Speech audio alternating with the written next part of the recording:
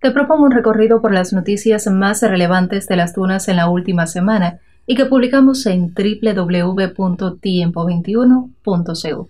Ya comenzamos. Los productores y trabajadores de la empresa de acopio, beneficio y torcido del tabaco en la provincia de Las Dunas asumen un importante reto al iniciar la campaña de siembra 2023-2024 con el propósito de plantar cerca de 250 hectáreas y acopiar 325 toneladas de tabaco en rama. Carlos Betancourt, director general de la empresa, explicó que se sembrará ese renglón en todos los municipios excepto Amancio. También dijo que se pretende concentrar las acciones en los tabacaleros que cuentan con mejores condiciones y que pueden obtener altos rendimientos.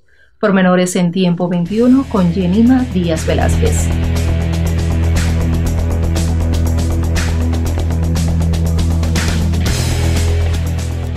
Hasta el próximo mes de noviembre se exhibe en la reabierta Galería Fayad Hamis del Fondo Cubano de Bienes Culturales la exposición colectiva Aquí estamos.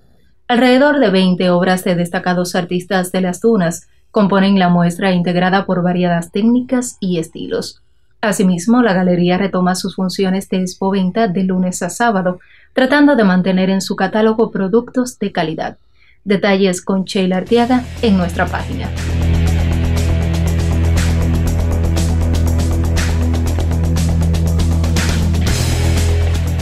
Semana llega la periodista Gretel Tamayo Velázquez con los últimos aconteceres del mundo del deporte en este territorio. Los promenores en Agenda Deportiva. Recuerda que puedes pinchar el link en la biografía. Hola, bienvenidos a Agenda Deportiva, un espacio para que conozca todo lo relacionado con los deportes en las Tunas. Hoy con una emisión especial desde la EIDE Carlos Leiva González, la principal institución deportiva de las Tunas.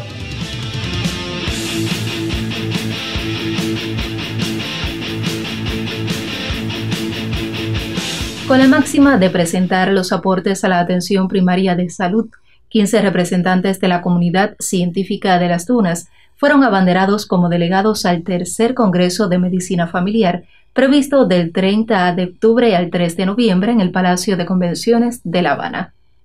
En la cita, los galenos socializarán estudios relacionados con la calidad de vida del adulto mayor y los niños asmáticos en el contexto familiar, el modelo predictivo de reacciones adversas en consumidores de fármacos antihipertensivos, el bajo peso al nacer en el contexto de las determinantes sociales y los factores de riesgo y biomarcadores de trastorno cognitivo tipo Alzheimer.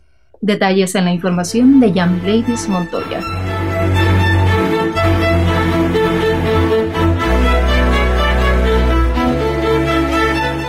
Concurso internacional universitario de programación aconteció hace solo unos días y tuvo sede en la Universidad de La Habana.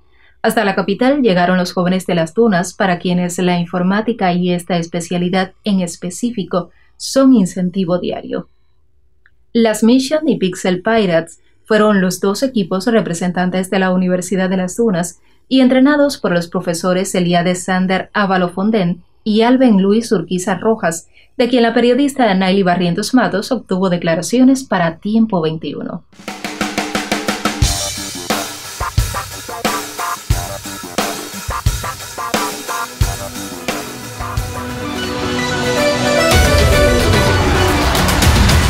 Con nosotros tienes al alcance la actualidad noticiosa. Somos Tiempo 21 Cuba, el medio en la red de Radio Victoria, emisora provincial de Las Dunas. Síguenos en Facebook, Twitter e Instagram y no olvides dar me gusta y comentar. También suscríbete a nuestro canal de YouTube. Yo soy Janex y te espero la próxima semana.